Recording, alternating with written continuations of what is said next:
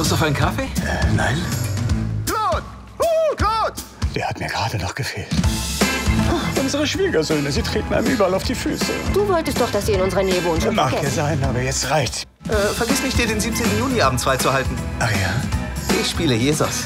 Du? Ja? Aber Jesus war doch nicht.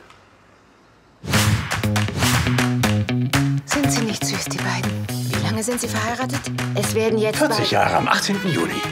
Das wäre eine sehr gute Gelegenheit für ein Treffen der gesamten Familie. Was heißt mit allen Familien? Naja, eure. Das wird ein Gemetzel. Hallo?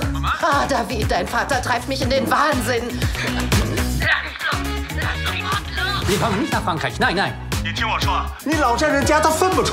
hast meine Eltern angerufen? So eine kleine Jam-Session auf der Feier wäre doch hübsch.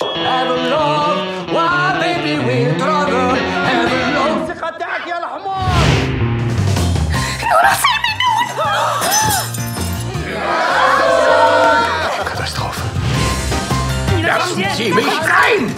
Die Chinesen haben unser Zimmer. Wir haben die Zimmer per Los verteilt und du und Mama schlaft in der Jotte. Was? Das ist doch wunderbar.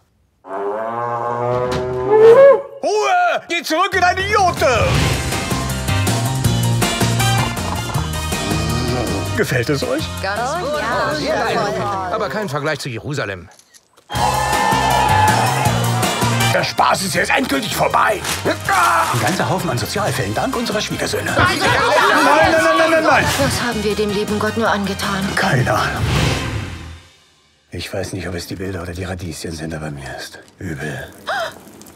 Normalerweise macht er das nie, das muss am Bild liegen.